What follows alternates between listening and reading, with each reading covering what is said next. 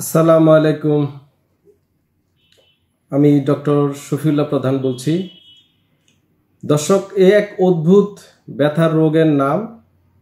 যে ব্যথায় রেস্টে গেলে রুগী বিশ্রামে থাকলে, শুয়ে বসে থাকলে ব্যথা বেড়ে যায়। এটার নাম হচ্ছে ফাইব্রোমায়ালজিয়া আমি প্রতিনিয়ত আমার প্র্যাকটিসে কত টাইপের রুগী যে আসে, কত ব্যথা বেদনা প্যারালাইসিস হাড়, ক্ষয় আর্থ্রাইটিস বিভিন্ন রুগী আমার কাছে আসে। তার মধ্যে এই অন্যতম একটি রোগ হচ্ছে ফাইব্রোমায়ালজিয়া বা বাত রোগ, এক প্রকারের বাত রোগ। বাত রোগ বাংলাদেশে সবাই যে কোনো ব্যথা বেদনারে বাত রোগ বলে থাকে। কিন্তু এই বাত রোগটি, এই ফাইব্রোমায়ালজিয়া রোগটি একটু ভিন্ন। এটা একটা অদ্ভুত রোগ। আপনারা জানেন যে যার হাঁটু ব্যথা আছে, কোমর ব্যথা আছে, হাঁটাহাঁটি করলে, উঠবস করলে, নামাজ পড়তে কষ্ট হয়, হাঁটতে কষ্ট হয়, চলাফেরায় কষ্ট হয় কিন্তু এই ফাইব্রোমায়ালজিটা একটা ভিন্ন।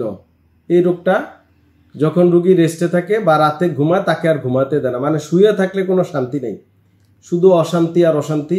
এক অদ্ভুত বাত রোগের নাম হচ্ছে ফাইব্রোমায়ালজিয়া যেটা বেশিরভাগ ক্ষেত্রে বিশ্রামে বেড়ে যায়। তো আসুন আমরা এই রোগটি নিয়ে কথা বলব। এটা ডেসক্রিপশন কাকে বলে, কীভাবে হয়, কারণ কি, এটা নিয়ে কথা বলব। আমি এই ফাইব্রোমায়ালজিয়া রোগটি নিয়ে অনেকেই আমাকে ইউটিউব, ফেসবুকে অনেক রুগীরা জানতে চাচ্ছেন হয়তো বা কোনো ডাক্তার ডায়াগনোসিস করেছে।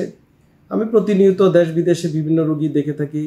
আমাদের বাংলাদেশি কমিউনিটি বা বাংলাদেশে বিভিন্ন দেশের যারা ফরেনাররা আছেন, তারা আমার কাছে বিভিন্ন ব্যথা বেদনা ডিক্স প্রলাপস স্লিপ ডিক্স বা arthritis disability paralysis facial nerve palsy হতে শুরু করে শারীরিক বিভিন্ন রোগ নিয়ে আমার ডিপিএস হসপিটালে আসে থাকে।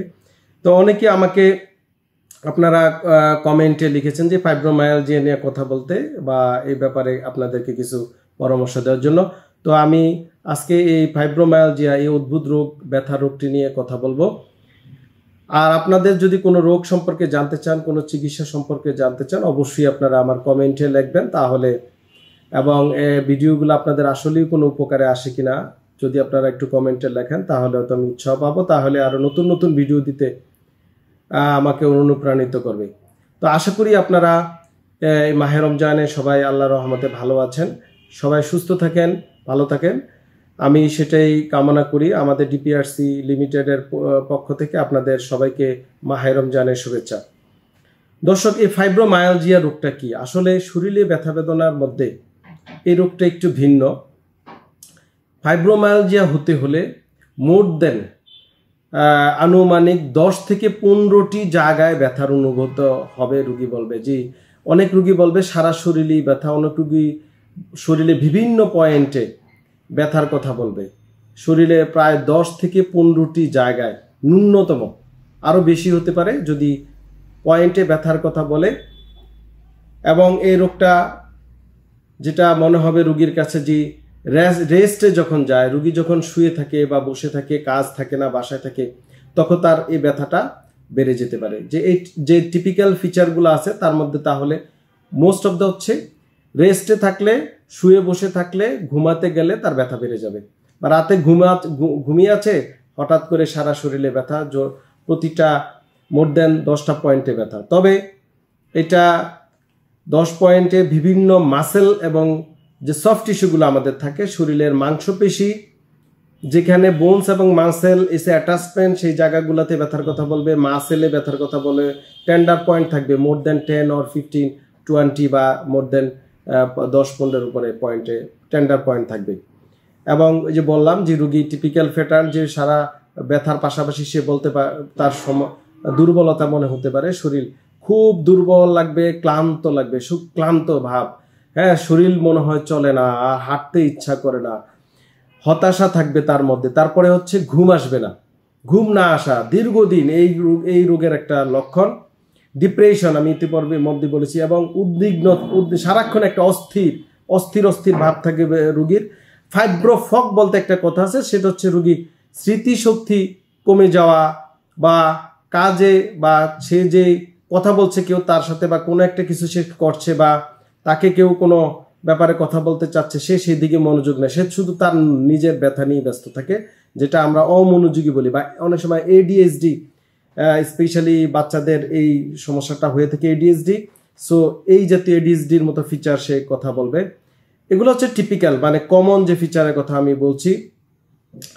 এবং মাথা ব্যথা থাকতে পারে, রুগী মাথা ব্যথার কথা বলবে। মাংসপেশি কামড়ানো বা টান লাগা হ্যাঁ টেনে ধরে বা কামড়ানো এই জাতীয় অনুভূতির কথা বলবে। হাত ও পায়ে অবশ অবশ ভাব বা ঝিঝির ভাব করবে রুগী। চামড়ায় বা স্কিনে অনেক সময় জ্বালা পোড়ার কথা বলতে পারে। অনেক সময় রুগী চুলকানো ভাব আসতে পারে। চুলকানো মানে ইটচিং টাইপের ভাব। বাস্তবে কিন্তু কোনো চুলকানি মানে কোনো র্যাশ পাওয়া যাবে না। কিন্তু তার কাছে মনে হবে যে চুলকাচ্ছে এবং জ্বালা পোড়া আছে। চল্লিশ থেকে সত্তর ভাগ রুগীর আমরা অনেক সময় আইবিএস ইরিটেবল বাউল সিন্ড্রোম বা আইবিএস সমস্যা পেতে পারি। কি হতে পারে? ডায়রিয়া অথবা কনস্টিপেশন বা মানে আমরা যেটা বলি কষা বা পায়খানা শক্ত হওয়া, অথবা দুইটা হতে পারে, কয়দিন ডায়রিয়া কয়দিন পাতলা কনস্টিপেশন সেটা হতে পারে। তারপরে পেটে বেলি, যে পেটে চামড়াতে ব্যথার কথা সে বলতে পারে, গ্যাস, অতিরিক্ত গ্যাস ফরমেশন হওয়া, রুগীর বমি বমি ভাব, এগুলো হচ্ছে কমন ফিচার আমরা এই ফাইব্রোমায়ালজিক রুগীর পেয়ে থাকি। এবং সত্তর ভাগের বেশি রুগীর ক্ষেত্রে সেটা, বেশি রুগীর টেনশন। হ্যাঁ তারপর হচ্ছে মাইগ্রেনের মতো মাথা ব্যথা হতে পারে। তারপরে মাথা ব্যথার সাথে ঘাড় ব্যথা এবং এই যে শোল্ডার জয়েন্ট ব্যথা হতে পারে। তো এই যে আমি এতক্ষণ যে ক্লিনিক্যাল ফিচার বা সমস্যাগুলোর কথা বলছি, এটা হচ্ছে একটা ফাইব্রোমায়ালজিক রুগী বলে থাকবে। এবং পাশাপাশি সে অলওয়েজ অস্থির থাকবে আমি বলছিলাম ইতিপূর্বে। এই ক্লিনিক্যাল ফিচারগুলো নিয়ে সে তারা আমাদের কাছে বেশিরভাগ ক্ষেত্রে আসে। রুগী যখন রেস্টে থাকে শুয়ে থাকে, তখন ব্যথাটা বেড়ে যায়। বা রুগী যখন কাজে থাকে, সে যখন অফিস ওয়ার্কে থাকে বা সে মুভ করছে, দৌড়াচ্ছে, হাঁটছে, খেলছে, তার ব্যথা কিন্তু কমে যায় বা সে ব্যথার অনুভূতিটি কমে আসে। তো এটা কোন বয়সে হতে পারে? সাধারণত এটা মিডল এইজে বেশি হয়ে থাকে, সাধারণত মিডল এইজে বেশি হয়ে থাকে। তবে যে কোনো বয়সী হতে পারে, বাচ্চাদেরও হতে পারে কিশোর কিশোরীদেরও হতে পারে যুবক যুবতীদের বা মধ্য বয়সে সবচেয়ে বেশি হয়ে থাকে। আর এইটা হচ্ছে মহিলাদের বেশি হয়ে থাকে মানে যদি দশটা মহিলার হয়, তার অনুপাতে অনুপাত হারে পাঁচজন পুরুষের হয়ে থাকে। তো, তাহলে এটা দ্বিগুণ, মহিলাদের দ্বিগুণ পরিমাণে ফাইব্রোমায়ালজিয়া রোগটা বেশি হয়ে থাকে। এই যে ক্লিনিক্যাল ফিচারগুলো বলছিলাম ইতিপূর্বে, এটার সাথে এটিপিক্যাল কিছু ফিচার আছে। মানে সব রুগীর ক্ষেত্রে হবে না, কিছু কিছু রুগীর ক্ষেত্রে। আগের যে ফিচারগুলো বলেছি ব্যথার কথা, সেগুলোর সাথে এই কিছু কিছু রুগীর এই উপসর্গগুলা দেখা দিতে পারে। যেমন ঘামানো, কথা নাই, বার্তা নাই, শরীর হঠাৎ করে ঘাম দিয়ে দিতে পারে। তারপর হাতের তালু, পায়ের তালু ঘামাতে পারে। শরীর কিছুটা ফুলে যেতে পারে। বুকের ব্যথার কথা রুগী বলতে পারে। আলো, শব্দ এবং আপনার তাপমাত্রায় যে শীত, গরম এই এই সকল তাপমাত্রা বা কোনো আলো বা কোনো শব্দ তার কাছে অস্বস্তিকর মনে হবে হ্যাঁ? এগুলাতে তার সমস্যা দেখা দিতে পারে।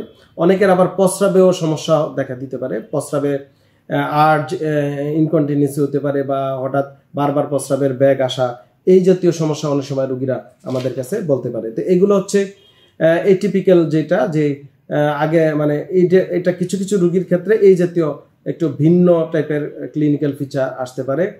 তো আপনারা এই যে বলছিলাম যে আমি তো প্রতিনিয়ত আরও রুগী দেখি, বিভিন্ন আরও ব্যথা রুগী আছে। অন্য ব্যথা রুগীর সাথে ফাইব্রোমায়ালজিক রুগীর আমরা আলাদা করব কীভাবে? অন্য ব্যথা যে রুগীরা আছে, অন্য যে সকল রোগ আছে, সেটার সাথে এটা আলাদা করার ক্ষেত্রে এই রোগটা অবশ্যই মাংস এবং সফট টিস্যুর রোগ।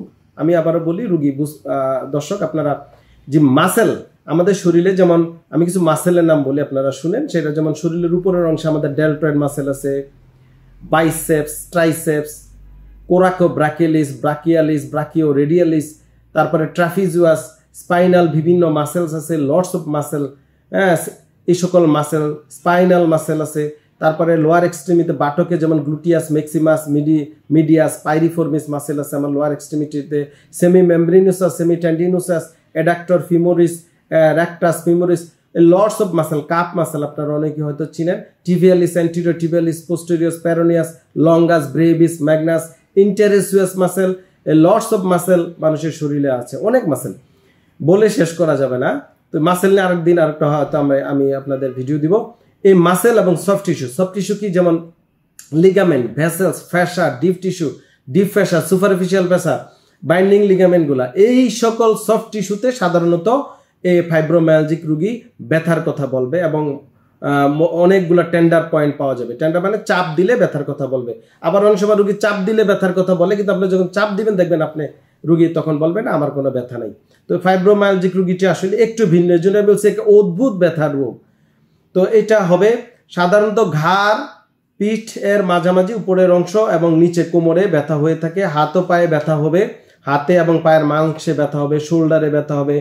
মাংসের ব্যথা তীব্র তা এবং অনুভূতি এক একজনের এক এক রকম হতে পারে। এক একজনের অনুভূতি, এক এক কেউ বলবে যে, আমার ব্যথাগুলা জ্বালা পোড়া টাইপের মনে হবে। কারও ক্ষেত্রে এটা কামড়ায় হ্যাঁ? ম্যাজ ম্যাজ করে মনে হবে, কামড়ানো শিরশির। কেউ বলবে, আমার অবশ অবশ ভাব। হ্যাঁ কারও মনে হয় শক্তি পায় না। অনেকে মরবে আমার মনে হয় মাংসগুলা ভেঙ্গে চুরে যাচ্ছে, মস্কিয়ে যাচ্ছে। হ্যাঁ এই জাতীয় ব্যথার কথা সাধারণত ফাইব্রোমায়ালজিক রুগী বলে থাকে। আর সকল ব্যথা অনেক সময় সকালে যে রুগী বেশি ব্যথার ব্যথার কথা বলবে, সকালে কিছু কিছু রুগীর ক্ষেত্রে সকালে ব্যথার কথা বলবে, ঘুম না আসা। ঘুম আসবে না এবং পাশাপাশি ঘুম না আলে না আসলে ব্যথা কিন্তু বেড়ে যেতে পারে। এই এই এই ফাইব্রোমায়ালজিক রুগীর ক্ষেত্রে। এবং ব্যথাটা অতিরিক্ত যদি কাজের স্ট্রেস হয়, কাজের চাপ থাকে বা পেশাগত চাপ থাকে, পারিবারিক চাপ থেকে, ব্যথা বেড়ে যেতে পারে।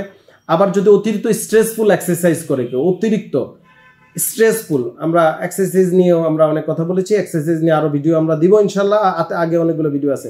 স্ট্রেসফুল এক্সারসাইজে ব্যথা বেড়ে যেতে পারে, অত্যধিক কাজের চাপে যেটা বলছি, এই সকল ব্যথা বেড়ে যেতে পারে। তাহলে অন্য রোগের রোগীর সাথে এটা একটু ভিন্ন মাত্রার ক্লিনিক্যাল ফিচার আমরা পেয়ে থাকি। অন্য আর্থ্রাইটিসগুলা বা অন্য অটোইমিউন ডিজিজ রোগের সাথে এটা একটু ভিন্ন মাত্রার আমরা ক্লিনিক্যাল ফিচারগুলো পেয়ে থাকি। তো এই রোগের কারণ কি? কেন হয়? এটা যদি আপনারা জানেন, তাহলে আপনাদের হয়তো এই রোগটা থেকে বাঁচার সুযোগ আসবে। আসলে এ পর্যন্ত চিকিৎসা বিজ্ঞানীরা রিসার্চাররা বিভিন্ন সায়েন্টিস্টরা যারা এই রোগ নিয়ে রিসার্চ করছে, বিভিন্ন বাদ ব্যথা নিয়ে রিসার্চ করছে সুনির্দিষ্ট কোনো কারণ তারা এখনও পায় নাই। তবে কিছু রিসার্চ ওয়ার্কে যেটা আসছে, এটা হচ্ছে দেহ ও মনের সমন্বয়ে যদি কোনো সমস্যা হয় মানে দেহ মাইন্ড সেট আপ যদি ঠিক মতো না হয়, কোনো কারণে তা থেকে ব্যথা হতে পারে, বিভিন্ন নার্ভাস সিস্টেম ডিজঅর্ডার থেকেও ব্যথা হতে পারে জেনেটিক্স কিছু ফ্যাক্টর জড়িত, যেমন জেনেটিক্যাল মিউটেশন যদি হয় এবং ফ্যামিলিয়াল ব্যাকগ্রাউন্ড অনেকের ফ্যামিলিগতভাবে ওটা হতে পারে। দীর্ঘমেয়াদী chronic infection chronic case chronic বিভিন্ন ইনফেকশন ডিজিজে যদি আপনারা আক্রান্ত থাকেন রোগে, তখনও এই সমস্যাটা হতে পারে। এবং অত্যধিক শারীরিক এবং মানসিক চাপ যদি থাকে কারও, সেটা চলাফেরা, কাজে কর্মে ফ্যামিলি হোক, ব্যক্তিগত হোক, তা থেকে এই রোগটা দেখা দিতে পারে। তবে একজাক্ট কজ এখনও আননোন রিসার্চ ওয়ার্ক এখনও স্টিল রানিং চলছে। এখন আসেন আমরা এই রোগটা ক্লিনিক্যাল ফিচার ছাড়া রোগটা কোনো টেস্ট করব কিনা বা এই রোগ টেস্ট এই রোগ নির্ণয়ে আমাদের ডাক্তারদের কোনো টেস্ট করার প্রয়োজন আছে কি না তো এই রোগ নির্ণয়ে আসলে there is no need any diagnose মানে ব্লাড টেস্ট কোনো প্যাথোলজি কোনো এক্স রে কোনো রেডিওলজি বা অন্য কোনো টেস্টের কোনো প্রয়োজন নেই। তবে হ্যাঁ আমরা ক্রনিক কোনো ইনফেকশন তার ছিল কিনা বা অন্য কোনো আর্থ্রাইটিস রোগ তার আছে কিনা, তার অন্য কোনো রোগের সাথে তাকে মানে একই অন্য কোনো রোগে এটার সাথে মিলে যায় কিনা সেটাকে ডিফারেন্সিয়েট করার জন্য ডিফারেন্সিয়াল ডায়াগনোসিস তৈরি করার জন্য আমরা কিছু টেস্ট করতে পারি, যেটা আমরা টু আইডেন্টিফাই অ্যানাদার ডিজিজ যদি সেগুলো আমরা না পাই, তাহলে আমরা ক্লিনিক্যাল ফিচার সাথে রুগীর দীর্ঘমেয়াদী একটা ডাক্তারের এটা বলি আমরা তার প্র্যাকটিস লাইফ তার এক্সপিরিয়েন্স তার এডুকেশন তার এক্সপোজার এবং তার হাবযশ সব মিলিয়ে সে ডায়াগনোসিসটা করে থাকে। অন্য রোগ যেমন হাইপোথাইরয়েড এনিমিয়া তারপরে হচ্ছে rheumatoid arthritis systemic lupus erythematosus autoimmune disorder ankylosing spondylitis scleroderma polyneuropathy তারপরে ক্যান্সার এই জাতীয় রোগেও কিন্তু এই জাতীয় ফিচার আসতে পারে। সো ওই রোগগুলা আমাদের আইডেন্টিফাই করে দেখার প্রয়োজন হতে পারে যে ওই জাতীয় কোনো রোগ তার আছে কিনা বা হিস্ট্রিতে আছে কিনা। যদি না হয়, তাহলে আমরা এই রোগটা খুব সহজেই ডায়াগনোসিস করতে পারব। এখন আসেন, এই রোগটা যদি হয়েই যায় কারও, তাহলে এই রোগটা আপনাকে কি করতে পারে? ভবিষ্যৎ কি? ফ্যাট অফ ডিজিজ কি? মানে রোগে আপনি কি মারা যেতে পারেন বা কোনো ক্ষতিগ্রস্ত হতে পারেন বা আপনার শারীরিক কি হতে পারে? আপনি কি চাকরি হারিয়ে যেতে পারেন বা আপনি কি ব্যথা ডিজেবল বা ডিজেবিলিটি হয়ে যেতে পারে কিনা? নো এ পর্যন্ত এই জাতীয় কোনো মানে এটা কোনো ফেটাল ডিজিজ না। মানে এটা কোনো মারাত্মক ফেটাল না যে আপনি মারা যাবেন বা ডিজেবল হয়ে পড়ে যাবেন। এইটা যে একটা ডিজিজ এটা হচ্ছে লাইফ লং একটা ডিজিজ যদি প্রপার ট্রিটমেন্ট না হয় প্রপার প্রিভেনশন না হয় এডুকেশন না হয় প্রপার পুনর্বাসন না হয়, তাহলে একটা আজীবন আপনাকে ভোগাবে। আজীবন আপনাকে এটা ক্যারি করতে হবে। এই রোগ নিয়ে আপনাকে থাকতে থাকতে হবে। এটা মেইনলি পার্সোনাল লাইফ একটা মানুষের ব্যক্তিগত জীবন, তার ফ্যামিলিয়াল জীবন, সামাজিক জীবনকে নষ্ট করে ফেলে। ব্যক্তিগত জীবন ধ্বংস হয়ে যায়, পারিবারিক জীবন নষ্ট হয়ে যায়। এই জাতীয় সমস্যা সে তৈরি করতে পারে। তো দর্শক, আজকে এই পর্যন্তই। আমরা এই ফাইব্রোমায়ালজিয়া রোগের আপনাদেরকে এটা যে একটা ক্রনিক পেইন ডিজিজ দীর্ঘদিনের ক্রনিক ব্যথা আক্রান্ত এটা কাদের হয় বেশি, কি ক্লিনিক্যাল ফিচারগুলো কি, এটা নিয়ে আমরা কথা বলব বলেছি। তো নেক্সট ভিডিওতে ইনশাআল্লাহ, এইটার আমরা চিকিৎসা কি এবং এটা কি কি এক্সারসাইজ করলে ভালো থাকা যাবে, কি কি এক্সারসাইজে রোগটা চলে যাবে বা আপনি ইমপ্রুভ হয়ে যাবেন বা কি কি ওষুধ খেলে আপনি ভালো থাকতে পারবেন এই ফাইব্রোমায়ালজিয়া থেকে, সেই নেক্সট ভিডিওতে সেটাতে আসছি। তবে অবশ্যই আপনারা যদি আপনাদের এই ভিডিওটি কোনো উপকারে আসে, অবশ্যই কমেন্টে লিখবেন। যদি আপনারা মনে করেন যে ভিডিও আপনাদের উপকারে আসে, এটা শেয়ার করে দিবেন এবং আমাকে কমেন্টের মাধ্যমে আর কি জানতে চাচ্ছেন, সেটা যদি লিখে দেন, তাহলে আমি অবশ্যই আপনাদের জন্য আরও আরও রোগ নিয়ে কথা বলব। আমি ডক্টর শফিউল্লাহ প্রধান। আজকের জন্য বিদায় নিচ্ছি। সবাই ভালো থাকুন। আসসালামু আলাইকুম।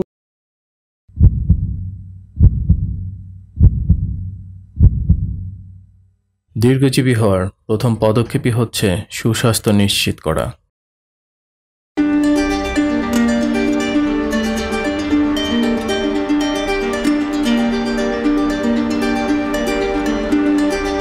দেহ ও মন ভালো থাকলে ভালো থাকে স্বাস্থ্য।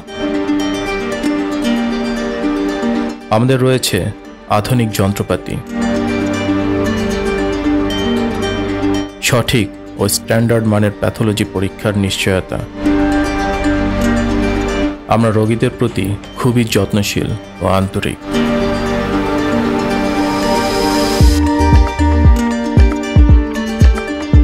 আমরা সর্বপ্রথম প্রতিটি রোগীর সঠিক রোগ নির্ণয় করি, এরপর রোগ অনুযায়ী অপারেশনবিহীন চিকিৎসা দিয়ে থাকি। আমাদের প্রতিটি ডক্টর, নার্স ও থেরাপিস্ট প্রশিক্ষণপ্রাপ্ত ও দক্ষ। আমরা প্যারালাইসিস রোগীদের নতুন করে চলতে শিখাই।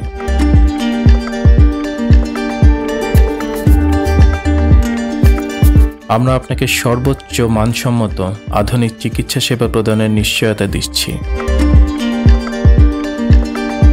আমরা বিশ্বাস করি আপনি এখানে আপনার নিজ পরিবারের মতোই সেবা পাবেন।